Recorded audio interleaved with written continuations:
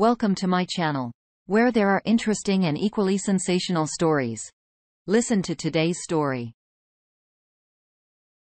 My wife cheated, calls it a mistake, and things that shouldn't break us. We've been married for eight years, the other for 10 plus. We have an eight-year-old and a five-year-old son. My wife also has three children from a previous marriage. When we first moved in together 2013, she quit her job and was able to get an admin job at the company I was working for. During that time, her and this dude I knew from that company hit it off and he would carpool with her to the house and vice versa. Sometimes he would get off and hang out at my house with me, and it really didn't make much of it. I thought that was a healthy coworker relationship. I knew the guy before I met my wife. The guy was married. We had hung out together. Him and his wife and me and my wife. Girlfriend at the time at Christmas parties, etc., and it seemed like a really healthy relationship. My wife would talk to me about what he would tell her and how his wife was pregnant and so on and so forth, and I never made anything out of it. My wife only lasted at the job for about a year. We never heard from the dude again. Other than maybe social media. Fast forward a few years, I quit my job late 2017 to start my own real estate practice. Ever since I switched jobs, Things have gone downhill from there. Mainly because the first year I used all of our savings to keep afloat. I didn't make enough money to replace my old income, and our lifestyle took a hit. I had to take odd jobs and side jobs that wouldn't conflict with the start of my real estate career to keep up with the bills and home expenses until my business could take off. After having our second child, 2015, her oldest moved out, 2018, to go to college, and me starting real estate. It was a whirlwind of changes that took a hit in our relationship. We no longer seek the same things. She would complain about my disconnect from her, and how I was never mentally there in the house, which I admit, the first year in real estate made me go into this deep depression, and I was a really dark place. Fast forward to 2020, we had an argument where she mentioned to me that she was craving attention because I wasn't giving it to her. We had stopped having sex for, like, months at a time. My wife spends all day watching Netflix when I'm at home. Never cares to put the kids to bed. Never cares to do anything else once she done with work. And I was mostly scrolling through my phone. I decided to take a trip after three cancellations to go see my mom. I told her to come with me, and she said she couldn't do it, that she had to quarantine before she can get back to work, and that I should go. Me and the boys, I go to see my mom with my two boys. While away, I had this weird vibe from her. She was treating me as if we were friends on the phone via IM. Very weird and inexplicable. Long story short, I get back from the trip, and the conversation she has with me is I think you and I are in the process of breaking up. We haven't had sex. You don't seem to be happy, etc., etc. I told her I was indeed in a dark place and not feeling emotionally well. Mainly because my relationship with her and how things were not according to expectations at work. But that I wanted to pull through. And I even said then, I believe we still have a 5050 chance to salvage our marriage, if that's how you feel. We start the process of figuring out what we are going to do for our marriage and kids. I start going to counseling for my depression. Long story short, again, I pulled myself out focusing on work, exercise, unhealthy eating. My business takes off in ways I couldn't even imagine. And while all this is happening, we're sleeping together and still married, trying to figure it out. I get a text from that dude's wife with all the screenshots of my wife and him talking, meeting up for lunches, calling each other babe, sending each other videos and pictures, her saying how she loves his voice and how he wants to see her, etc. All that crap happens while I was gone. Before we had the conversation of think we are in the process of breaking up. It gets even worse. There's a text from 2013, the day that I proposed to her, of her telling him how I just proposed to her, and she had a wet dream with him. I called her up, told her we needed to talk about this dude, and asked her if she met up with him. She says, yes. And there was some serious making out. I confronted her with the pictures of her and him in what appeared to be a house. And she couldn't, or didn't tell me where it was because it would sound worse than what it is. I took a day to soak it all in. And the next day, I told her that we were just raising kids. I don't want to be with you. And as soon as we figure out how, what we were going to do with the kids, I'm out. She literally tells me this was my easy out. What the hell? I didn't go out and meet with an idiot that can't even count to 100 and is a garbage father to his kids and wife has been in jail and is on probation at the moment. God was good enough to allow me to see this guy the next day. I encountered him at an office and kicked his ass. He ran, I told my wife. They both thought there wouldn't be any consequences to their actions, and my wife and I had talked after I calmed down. And to her, it was just a minor mistake. That I mentioned she ended her previous marriage with an infidelity on her end as well. In my mind, she gave up on me before she even told me. In my mind, her actions spoke louder than words. And now, I'm making solid money. Have a three plus years solid real estate practice. Have lost 20 pounds and I'm eating healthy. Reading, etc. And she sees how I have pulled myself out from depression and are doing great and now she's thinking she could keep me.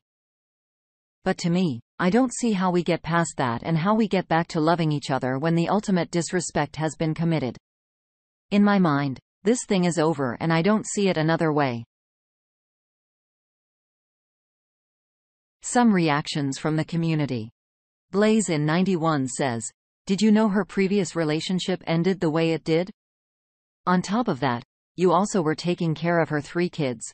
I know people see this differently, but I don't find myself obligated to take care of another man's children. There is some fault on your side with the whole depression and not being emotionally available. But it seems like she was already on this dude before you even had kids who got married or started having issues etc. Throw her butt to the curb and don't look back. Be there for your boys and pass your hard-earned lessons on to them, so they don't make similar mistakes in the future. The marriage is over. If it even was one in the first place. Less than for dudes out there. Don't get involved with single mothers, unless you're assured of what your role is and what kind of woman she is, etc. 9 out of 10. It's going to end terribly. Best of luck on what you're already going to do not sure what advice you're seeking here.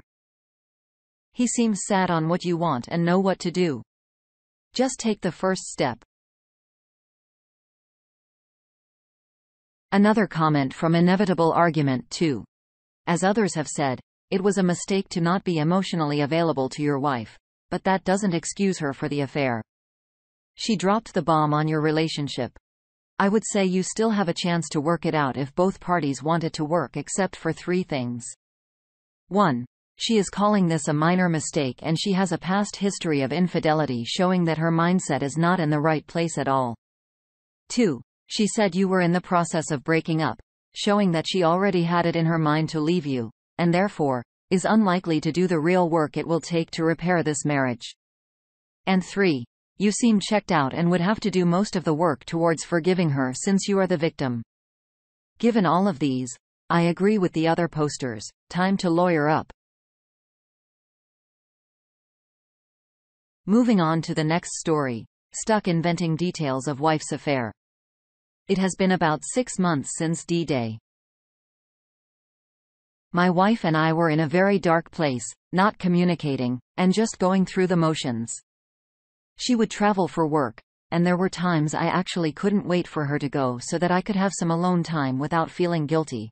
Ironic. While she was traveling, she had an affair for about two months. Two times, it got physical, but he was there to listen to her and show interest in her when I was not. I'm not giving her excuses, but it does matter. It wasn't like we were completely happy. She could have just said something and she didn't. She has apologized profusely for this. She actually disclosed the information to me voluntarily because she wants to work on the marriage. We've been going to marriage counseling weekly and working on her communication. She's been going to weekly individual therapy to work on her issues. I keep thinking she deserves credit for telling me because I genuinely would have never known. What feels effed up is that she obviously didn't have to tell me, and we would have been fine. She wanted to tell me so that we could work on the marriage. It feels wrong to just leave, given her vulnerability in the matter. But I can't get these images out of my head. We have good days and bad days. When I have bad days, it is because I can't stop torturing myself with made-up details of the story. She tries to be there for me during these times, but, like, how am I supposed to receive comfort from the person who hurt me? She says sorry and wants to help, but like I genuinely don't know what she could possibly do for me. I picture them having fun together and then obviously knowing what it would lead to. I picture her getting naked with him and his body on hers, then kissing in their hands on each other. When it gets really bad, I invent them having the best sex of their lives, and obviously, I invent stories of his stamina and etc., etc.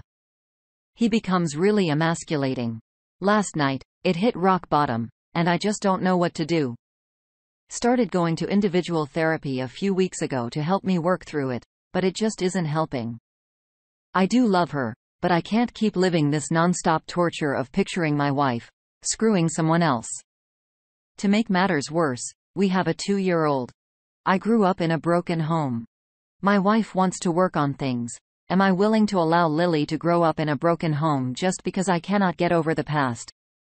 I know we can't just stay together for the kids, but rushing out of the marriage when my wife is trying to be better simply because of my insecurity around sex, seems unfair to my daughter. Does anyone have any advice for me? What role does she have in comforting me? Does it ever get better? I was hoping six months later that we would be well on our way back, but I'm just stuck. It feels like she decided then and there end the marriage when she betrayed our vows and invited this opportunist into her life.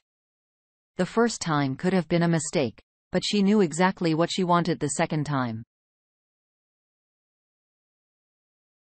Let's get some reactions from the community. Zanzibar Buck McVate says, Here's something I did that helped me.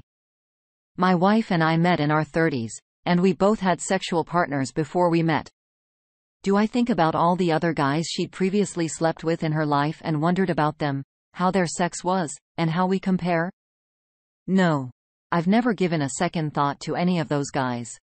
So why would I spend my time dwelling on a pair of partners when I don't think twice about other guys from her past?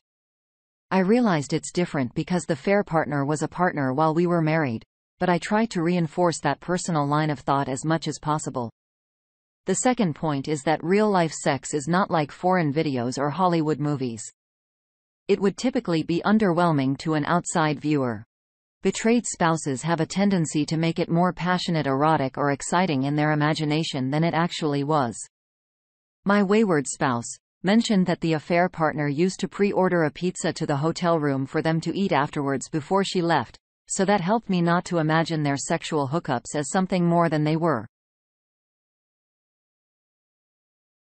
Here's the closing dot from NOP. I know that real-life sex isn't like porn. It is just brutal that I wasn't considered during this time. I am at home, taking care of our one-year-old, and she is traveling and doing this. It is a combination of betrayal and the idea that I was just so naive. That is also so painful. It is so much easier said than done because I just dwell and obsess over made-up details. I wish I could just tell myself that she didn't have to tell me, but she did. Should she really be punished indefinitely for that with a divorce?